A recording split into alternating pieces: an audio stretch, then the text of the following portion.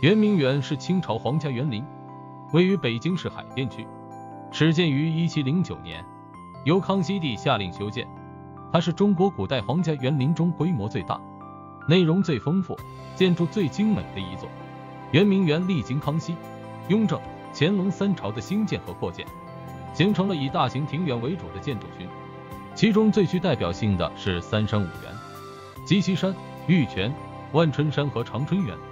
齐春园、治果园、西春园、建章园五个园林。圆明园不仅是皇家园林，也是重要的文化艺术中心。园内建有大量文化建筑，如颐和园、长廊、宝慧阁、御花园等，还收藏了大量珍贵的文物艺术品，包括书画、玉器、青铜器、陶瓷等。圆明园曾经是清朝皇帝及其宫廷成员的宫殿和游乐场，也是中国历史上文化艺术交流。学术研究和国际外交的重要场所。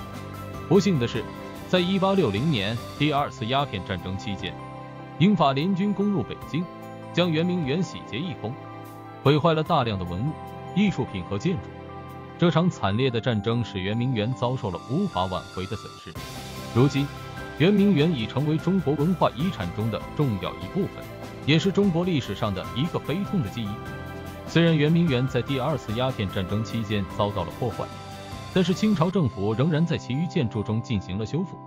然而，在一九零零年的八国联军入侵期间，圆明园再次遭到了严重的破坏，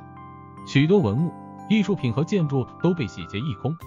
被掠夺的物品大多被带回了欧洲。这场破坏远比第二次鸦片战争的破坏更为严重，因为此时圆明园的许多建筑已经得到了修复和保护。清朝政府在此后的数十年里对圆明园进行了修复和重建，但是在一九一一年辛亥革命爆发后，清朝政府被推翻，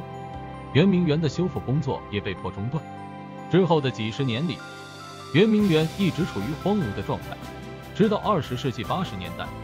中国政府开始对圆明园进行大规模的修复和重建工作。如今，圆明园已经成为了一个重要的旅游景点和文化遗产。尽管有些建筑和文物已经无法复原，但是仍有许多重要的建筑和文物得以保存，并成为了许多游客和研究人员的重要目的地。同时，圆明园也成为了中国和世界上许多人心中的一个象征，代表着中国古代文化和历史的辉煌。近年来，中国政府继续加强对圆明园的保护和修复，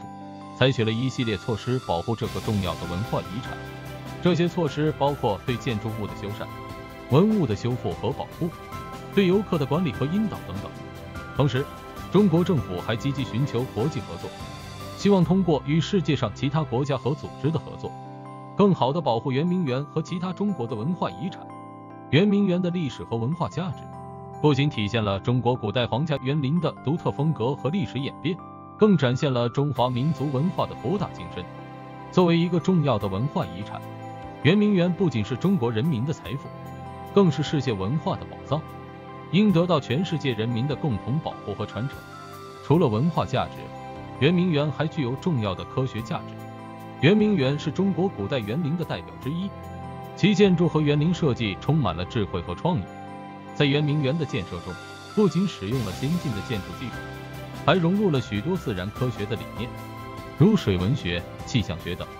反映了古代中国人对自然的认知和探索。